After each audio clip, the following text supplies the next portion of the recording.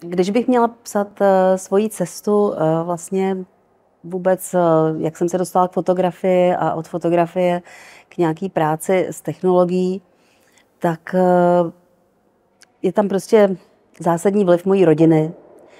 Asi v tomhle ohledu hodně mýho otce, který byl vyučený vlastně nejdřív litograf a pak reprodukční fotograf a vyrůstala jsem vlastně v rodině, kde se vytvářely koláže. Měla jsem pocit, že těch fotografů, kteří fotí vlastně klasickou fotografii, je strašlivý množství. Já jsem si říkala, ty klasiky je vlastně dost, jako já s tím letím vlastně jako nechci úplně konkurovat. Jo. Tatínek byl vlastně fanoušek Jana Sautka. Byli kamarádi, znal i Káju Sautka, znali se z mladého světa. A když mě bylo, nevím, 12, 13 let, tak, tak vlastně se tatínek domluvil s Janem Sautkem a vlastně jsem se stala já i moje sestra jeho, jeho modelkama. V mý práci určitě je nějakým způsobem obsažena nějaká rovina toho, um, jako pojmout to fotografování vlastně toho těla nebo sebe uh, vlastně svým vlastním způsobem. Kde jsem měla chuť se vůči tomu nějakým způsobem vyhranit, ale uh, taky jsem vnímala vlastně tu určitou dehonestaci třeba ženského těla v reklamě. Byly ty různý mm, velký billboardy třeba na lepidlo, na Mm, na dlaždičky. A tam se dělá holka s velkýma prsama, který padaly skoro ven z podprsenky a, a, a bylo tam napsáno, já nevím, silikonový lepidlo nějaký, kupte si mě, nebo já nevím. Pak třeba airbagy taky. Jako bylo toho víc, jo. A takže to, to bylo takový trošku se vyhranit vůči tomu a zkusit jakoby vlastně to tělo prezentovat nějak jinak a pokud ho mám jako nějakým způsobem si zneužít nebo použít, tak si budu zneužívat a používat svoje tělo, jak já sama chci. Ale budu, a to moje tělo bude ale sloužit k tomu, aby dalo nějaký message. Vlastně jsem nějakým způsobem asi chtěla trochu využít řeč vlastně té reklamy, která byla vlastně dominantní. Vlastně to bylo při dálnicích a všude možně. Na stáncích bylo možné koupit třeba pornografii, Vlastně to jsou všechno ty impulzy, které jsem měla. Tehdy jsem žila s mladým Kanaďanem, který tady vlastně po, po revoluci přijel. On jako malý kluk, už někdy ve 13, úplně s malým spožděním za Billem Gatesem, eh, si začal v Kanadě stavět svoje první počítače. Takže spolu jsme koupili první PC, jednu z prvních, který se tady dalo koupit a díky tomu vznikly vlastně ty první věci moje počítačové z počátku 90. let. Zajímalo mě na tom ten experiment, prostě zkoušet něco nového, někam to zkusit zase posunout, využít toho dostupného, co je možný. Že? Vlastně tu fotografii jako mě lákalo dostat právě do toho objektu. Najednou z toho udělat jakoby i částečnou nějakou sochu.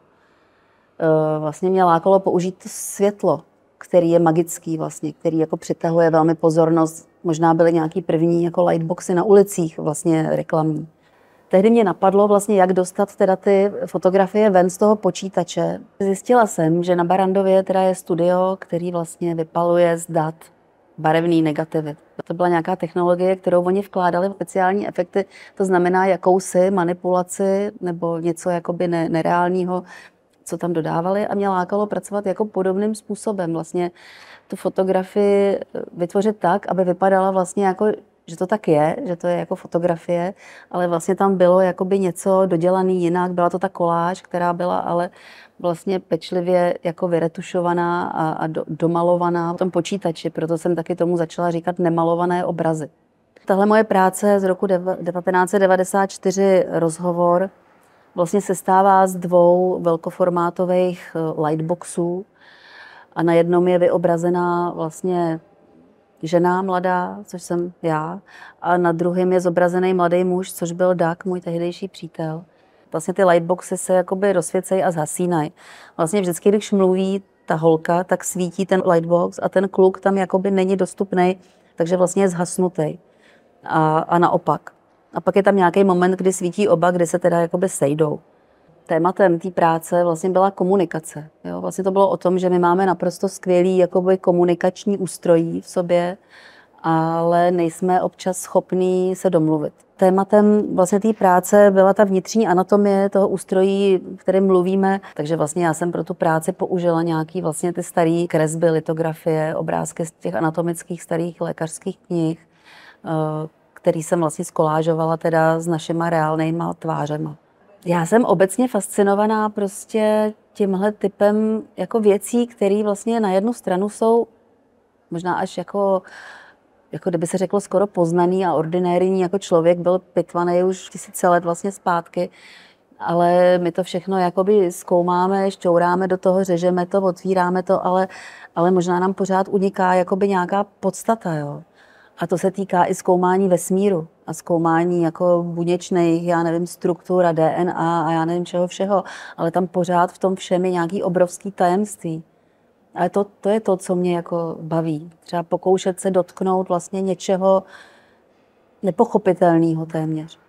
Prostě nějak se dostávám k tomu tématu té jednoty a k tomu, že vlastně ten svět vyvěrá jakoby pro mě z nějakého jednoho zdroje. A tím pádem jsme všichni nějakým způsobem prostě propojení a, a o tom se mluví, ale je těžké se to vlastně jako uvědomovat, když máme tu svoji fyzickou schránku, která je jaksi oddělená od těch jiných schránek, ale nějakým způsobem na hluboký úrovni věřím opravdu na tu propojenost všeho ze vším.